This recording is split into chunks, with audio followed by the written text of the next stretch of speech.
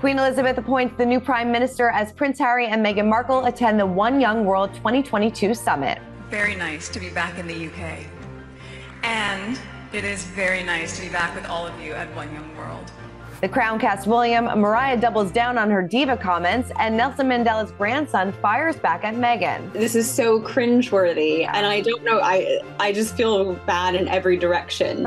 um, but Meghan, that's such an outlandish claim for her to make, and the only South African cast member is like, I didn't say that. So somewhere she, you know, recollections may vary. Plus, relationship expert Dr. Elizabeth Frederick tells us how a family strain may take its toll on Harry and Meghan's relationship.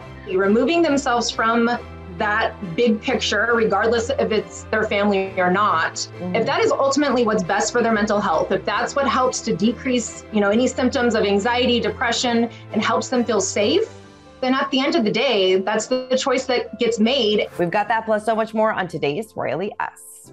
Hello to our fellow royal lovers and welcome to Royally Us. I'm Christina, that's Christine, and a big week in royal news. Summer break is over. We're back in the swing of things and it's about to get real busy.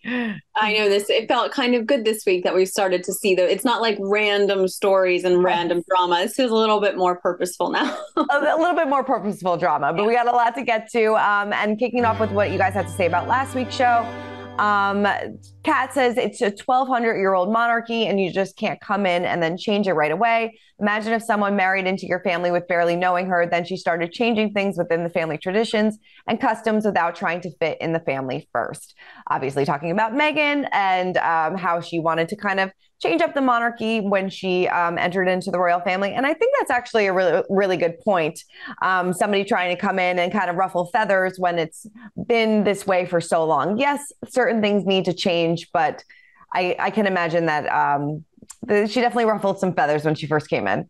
It definitely. And I think it kind of comes to, you know, Meghan has said recently she feels like the problem was that she was too American. Mm. And I feel like when you think about America's whole history is less than 300 years old, and the monarchy alone in the UK is 1200 years old. You know, there's a different sense of time and change and and things like that. And I think that Meghan sort of lost that because she didn't grow up in the UK. And I think it was part of her, you know, struggle. Definitely. And then um, Calico kind of piggybacks off that, saying she threw a fit because they wanted more power, so they left. That's the revealing truth. A lot of um, this. Is this was one of the more tame comments, so it was a lot of. Um, it was hard for me to kind of go through, but it definitely seems like a lot of people just agreed that you know Meghan kind of didn't get her way, and that's why she wanted to jump ship. Obviously, there's a lot of different reasons with uh, protection, privacy, mental health. And I'm sure a lot of that kind of had to factor into the decision as to why they left. Yeah, definitely. I think people get really, this is such a hot topic. And honestly, the more Meghan talks about her experience, the more people are going to kind of complain about it. Yeah. I, I totally agree with you. And well, let's continue talking about Meghan because uh, she and Harry um, went to the UK. She made her first speech since uh, walking away from the royal family more than two years ago. She delivered the keynote speech at the One Young World Summit in Manchester, where she used her moment to spotlight and tell people you are the future, but you're also the present. She began her speech saying, like we saw up top, it's very nice to be back in the UK. She became involved in this organization back in 2014. So here is a quick uh, sneak peek at some uh, what she had to say. Take a look. You are the ones driving the positive and necessary change needed across the globe now in this very moment. And for that, I'm so grateful to be in your company today. So, yeah, she delivered this keynote speech saying that she was very excited to be back in the UK, that these uh, people are the future. And obviously, she touched a little bit on her own experiences. But um, yeah, interesting that they are back in the UK. No real plans to see the royal family, though. Yeah, no, there's absolutely, yeah there's all i think we might hear after the fact that if they've met with anybody like we did the last time they visited the uk you know sort of privately um, we might hear about it afterwards. But the Queen's up at Balmoral. I mean, I think Charles is still, you know, he's not in Windsor, and I don't think there's any intention for the Cambridges to see them. But they do have um, a busy weekend on Tuesday. They're in Dusseldorf, um, launching the one year ahead of the Invictus, in ga- uh, Invictus Games for next year.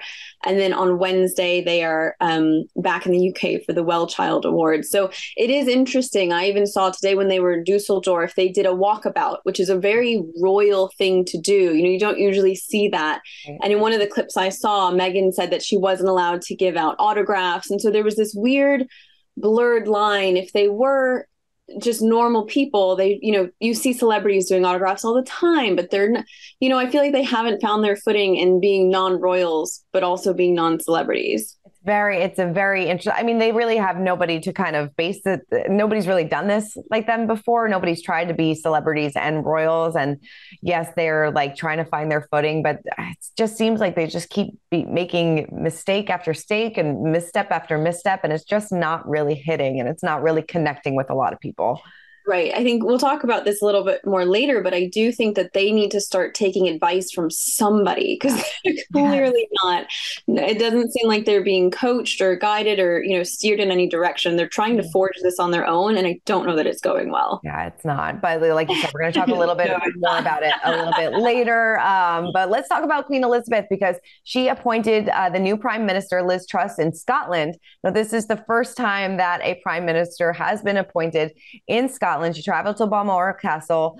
Um, and this is the 15th prime minister the Queen has welcomed into the role. Imagine that 15 prime ministers. I cannot believe it. I mean, her first prime minister was Winston Churchill. And then all the way through the years and now we're 15 prime ministers later it was so good to see her she did look she looked a bit frail but again like she's 96 um, but her sitting room just looked so cozy. It looked like a very granny sitting room, and you right. just kind of wanted to sit and have a chat with her. Definitely. everyone was really, really happy to see her. 100%. And, you know, she has been dealing with these mobility issues, which also uh, sidelined her from this much loved late summer outing in Scotland. She usually makes an outing to see Braemar's Highland Games, um, a short, which is a short drive from Balmoral Castle, um, which always occurs on the first Saturday in September. Instead, Prince Charles and Princess Anne filled in for her. And like they said, that this deci- decision was made with her comfort in mind because it would mean a lot of sitting in full view of the public. And um, it's likely that would be a big concern if she's feeling any discomfort. I'm sure she doesn't want to be going through that when all eyes are on her. Yeah, it's difficult when for her, it, it's not like she can just sit there and, you know, it's not like a low key thing. And you have to figure Scotland's cold, it rains a lot, it's windy. This is a very outdoor event and it is, it's a long day. So again, at, at her age, I don't know that we can blame her, although, you know, we do miss these, these uh, occasions. Definitely. All right. Well, this is interesting. So the BBC had made a big payout of $1.6 million following the indictment of the network and journalist Martin Bashir. They made made um, these donations to a lot of Princess Diana's beloved charities between Centrepoint, English National Ballet, Great Ormond Street Hospital Children's Charity, um, numerous charities spreading this $1.6 million. And the BBC said the BBC had indicated its intention to donate the, to charity the sales proceeds derived from the 1995 Panorama interview with Diana, Princess of Wales. The BBC has now done so. Given the findings of Lord Dyson, we think this is the right and appropriate course of action finally doing something right in this. it's so interesting. We talked about it recently when we were talking about, you know, the new documentaries that were coming out mm-hmm. and how hard it is to wrap your head around the fact that this aired on the BBC, which even today is sort of known as extremely reputable, extremely unbiased, sort of unimpeachable. And for this documentary to have aired when it is in fact just a horrible manipulative thing to have done to any woman much less mm-hmm Diana, you know, Princess of Wales, I think they're feeling really bad, and they're sort of trying to like clean up that mess from you know two decades ago. Right, and you're right. You, you they're trying to save face a little bit because, like you said, this is a reputable organization. People look to them for the, the facts and the truth, and they weren't delivering it, exactly. and they did yeah. it in a shady, shoddy way. So they're trying to make up for it. So I guess the, I guess you know 1.6 million dollars is nice to kind of spread out through the charities that really meant a lot for her. Well, uh, let's move on. Let's spill some royalty because I am so excited for the next season of The Crown. They found their Kate Middleton, they found their Prince William, and that was fast because we just talked about this a couple weeks ago that they were still looking. So, um, The Crown revealed the look-alike actors who will play the future Duke and Duchess of Cambridge in season six of The Crown. Newcomer Meg Bellamy will take on the role of Kate. Prince William will be portrayed by multiple actors as, as the character ages. 16-year-old Rufus Kampa and 21-year-old Ed McVey will um, both take on the role. And this will be their first professional television appearance. No pressure whatsoever. um, it was interesting. I think either the producer, the director of the show said in an interview in the last couple years that The Crown would probably not go very far into the mm-hmm. present because when people remember it really well, that it starts to get hard to sort of create these dramatizations. So I'm first of all shocked that we're seeing, you know, them in, at such an age, you know, coming to such an age that it's going to go, you know, to so close to recent history. Mm-hmm. Because everyone's like, that looks nothing like them because we're so relevant today. Right. Um, I don't think the castings are too bad. I mean, they're better than some of the other ones that we've seen. Yeah, no, I um, think they look pretty good. Yeah, except I do think that that Australian TikTok star Brittany Dixon was robbed of the Kate position. Seriously, like she is like her doppelganger. Like it looks exactly alike. And like we said before, the Crown wasn't really looking for anybody that had experience because they would coach them through everything and be there for them. So I mean, they had the perfect casting. But I'm sure this this girl will do a fabulous job as well. yes, I think that um, Meg Bellamy. She does look really well. Yeah. You know, physically she looks really well suited. Um, she does seem to be an actual actress, whereas Brittany Dixon is an artist. Um, so hopefully it comes out well. I'm always hypercritical of The Crown because of you know what we talk about every week, and I sort of mm. sit there and think that would never happen. Right.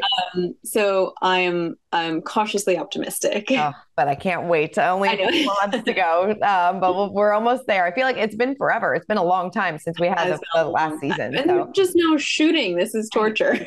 It, I know, right? Give it to us. Um, well, this was interesting. So Mariah Carey doubled down on calling Meghan Markle a diva. She tweeted, "Really enjoyed talking to Duchess, Duchess and diva Meghan Markle about the duality of diva. Yes, I call her." I called her a diva in the most fabulous, gorgeous, and empowering meaning of the word. Now, of course, during the podcast of uh, archetypes, Meghan revealed that she was taken aback when Mariah told her, "You give us diva moments sometimes, Meghan. Um, I mean, she she does give us diva moments sometimes. This is well, I I said last week I love how Mariah Carey really uses this as an empowering word because mm. so many of us as young girls were called divas and it was really negative mm. connotation. And now I think it can be really empowering. However, for Meghan to be totally unself-aware and have that sort of, you know, being taken aback by that, um, I found it so, especially since she says, "What have you read about me? What have other people been saying about me?" I jumped to the really, conclusion. yeah, that really jumped out at me. Is she's really not taking ownership for her own actions, which I think, um, especially as the way that Mariah Carey spoke about being a diva, you could really T- you know, all of us, all of us women have those moments. You know? mm-hmm. Oh, 100%. I just feel like you know, I understand why Prince Harry has such a hateful relationship with the paparazzi. I totally get it, but it just seems like they are just co- so consumed about what everybody is saying about them. Because, like you said, she's like, "Well, what did you say about me? What did you hear? What did what, what?" Like, it just seems like maybe they're just so wrapped up in like what everybody else thinks about them, rather than what that image they want to. Pr- I don't know. It just seems like we said it's just a disconnect. The image that they are. Um, putting out to the public just doesn't seem real, doesn't seem genuine to me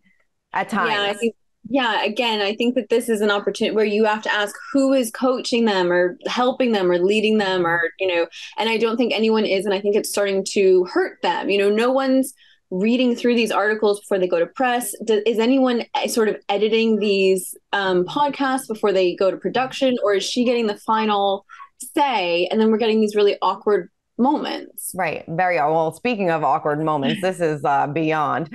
Um, so, one of Nelson Mandela's grandsons slammed Meghan for comparing her royal wedding to his grandfather being freed from prison. Um, his grandson told the Daily Mail um, that Mandela's celebration was based on overcoming 350 years of colonialism with 60 years of a brutal apartheid regime in South Africa. It cannot be equated to as the same. He said he was surprised by Meghan's recent comments saying that South Africans dancing in the streets for his grandfather's release in 1990 after 27 years in prison was more important and more serious than her marriage to quote unquote a white prince.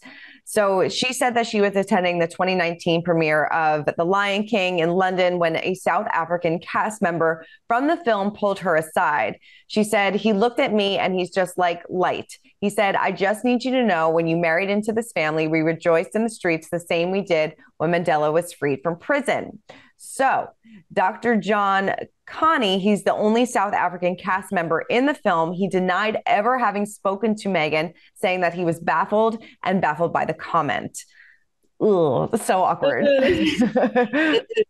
this is so cringeworthy and i don't know i i just feel bad in every direction um, but meghan that's such an outlandish claim for her to make and the only South African cast member is like, I didn't say that. So somewhere she, you know, recollections may vary, but this is another example. You know, no one is guiding Meghan and saying, we should fact check this, or are you sure you want to say this? Because there was so much in that cut interview and even some bits in the recent podcast that mm-hmm. are very easily fact checkable. I think one of the ones that's really, I've seen a lot on Twitter is that Meghan spoke about the British press calling her child the N word. Mm. And there was a lot of fact checking on that. And I haven't seen anyone actually pull up written proof of that. Right. And it's a, just another example where if Meghan was taking advice from someone who ran her PR campaign or someone who ran her, you know, her her whatever it is, you know, people that's why these that's why big celebrities have, you know, PR um, companies and assistants and things like that running their team to make sure that these blunders don't happen because that one is really embarrassing. It's very embarrassing. I mean, it even goes back to her CBS interview when she said that they got married before they did, and everyone's like, no, and even you know their their priest came forward saying, no, that wasn't true. So I don't know if she's just like exaggerating the truth a little bit to make it sound more flashy and splashy but you got to really be careful because there are, people are going to fact check every single thing that you say and uh, you know to kind of you know, it pull the, I, I, mean, I can't say if maybe she heard this from somebody, somebody else and maybe, um, you know, she was just mistaken, but, you know, to have people publicly slam you and say that, like that doesn't happen, it doesn't look good. And people are going to stop believing what you're saying because, um, because you just keep kind of tripping up over yourself. Exactly. And I think you're right. Now we've seen this a few times where she's done these big interviews or she's done these big outspoken things and made these terrible claims but then when the fact checking starts to come in then you're it's like what do you believe of what she says? And now i've seen a lot of commentary in the last week or two since that piece from the cut came out and the podcast launched. A lot of people are sort of you know reassessing their view of Meghan. And that's mm-hmm. not what Meghan, this was supposed no. to be a big PR campaign to earn her lots of public favor and give the podcast a boost. Mm-hmm. And instead, it has done the total opposite. Yeah, total opposite. Oh, we'll have to wait and see. All right. Well, now it's time to break down the royal rules. And we recently sat down with relationship expert Dr. Elizabeth Frederick, who revealed why Meghan and Harry may um, have a strain in the relationship since there is a strain in the royal family. Take a look. So I have to ask you, as um, an expert, what do you make of their relationship? You know, I think it's interesting because it's hard to tell anytime that a couple's in the public eye. It's really hard to tell because there are so many rumors, there's so many stressors that come along with that and create heightened anxiety. And really, I mean, that's the biological response to the rumors and all those stressors. And so I would say that it's probably not really fair, some of the feedback that they get, especially meghan I think that she's been really painted out to be what um, the, our culture, what society has deemed her to be, which is maybe not actually accurate to who she is. And again, it's really hard to tell because of the level of anxiety that they're both under. Definitely. I mean, what would you say are some of the biggest challenges that couple, this couple and couples face by having a relationship in the public eye? Yes. So I would say first and foremost, the rumors. That is really hard because as humans, we are designed for acceptance, we fear rejection. And so when these rumors get in the way of us feeling accepted by our partner, that can be really overwhelming, but then really amplify that. I mean, it's the whole world that they're really risking rejection with. And so, because of that, that is going to activate the amygdala, the emotional center of the brain, that is going to increase anxiety, which ultimately increases irritability. Mm-hmm. And then that, that makes the relational dynamic that much more difficult if they're both essentially operating in anxiety. And so I think the rumors is a huge part. I think that the way that it impacts them biologically, neurologically, in the sense of increasing those symptoms of anxiety, makes it really hard to function day to day. And then also the lack of privacy. Like I can't even imagine what that would be like. Not even not even being able to leave their house without somebody having something to say. Yeah. So I certainly would imagine that all of those would be tremendous stressors. Oh, definitely. Do you feel like this either brings a couple closer together or pulls a couple farther apart? Because I know Harry has spoken out about battling mental health issues. He, you know, about, and talked about the paparazzi and how that has affected his life, especially with the death of his mother. So do you feel like this either brings a couple together or pulls them apart? Absolutely, based on the way they react to that. And so, really, the foundation, the emotional intimacy, which is the safety and trust that is established between a couple. And if that is strong and they, there is this sense of, I want to protect you, I want to keep you safe in spite of all of these stressors that we face, then I absolutely do think it can pull them closer together. But if they're each not prepared for that, and maybe if they're both struggling with their own mental health issues, they're both struggling with maybe feeling more on the defense or guarded versus coming together as an alliance, then that's really where we see couples in general start to pull apart because now they're viewing it as me versus you instead of us versus them do you feel like they are protecting one another? I mean, obviously, we don't know what goes on behind closed doors. We only have these glimpses of interviews that they've done. They did that big sit down interview with CBS. I mean, do you feel like they are a united front as a couple? I feel like some of these big decisions that have been made would indicate that they are, right? So when they chose to move to California, when they chose to step back from some of those royal responsibilities, I do believe that was an attempt to really help Meghan to feel safe and to feel like, hey, I'm on your team, I choose you, which is a really powerful gesture, right, for a partner to make. Um, but then it's hard to tell the United Front because then Meghan gets so much backlash and she gets so much pushback from everyone, you know, that she's running the show and everything is all about her, which I think is really unfair because, like you said, we don't know what's going on behind closed doors. But I would say some of these big gestures that have been made demonstrate that they are trying to be a united front in this. Yeah and i mean uh, you know you have the layer of the public opinion and but you also have the family dynamic too. And they have distanced themselves from his family. They step down as senior members of the royal family. Does that put a strain on your relationship when there is a um a strife within the family and you have to wonder, right? Because you have to wonder what type of resentments might be going on for Harry in the midst of that. And where did this decision come from? Did he feel like it was an ultimatum given by meghan Did he feel like it was the best option in order to keep his wife safe? And we don't know we don't know his intentions we don't know the reasons for that mm-hmm. but i would absolutely say that that separation in the family unit does it causes a risk there is potential for resentments which could certainly create cracks in the barrier later on in their relationship. And so hopefully the decision was made out of, you know, like I want to show up for you and I want to protect you through this. And if that's the case and he made it through his own volition, then no, not necessarily. It doesn't have to mean a crack in in their foundation. Right. Is it I mean it's uh, a, we don't know like the like i said what goes on behind those closed doors and you know it's all speculation but is it ever healthy to isolate yourself so much from your family? I mean both sides. I mean she only has a relationship with her mother. He doesn't seem to have any sort of only really a relationship with his grandmother. So is it really healthy to kind of isolate yourself and you know put yourself in this little bubble well, and depending on the toxicity going on within their family unit, then absolutely, there could certainly be reasons um, that is actually the healthier choice.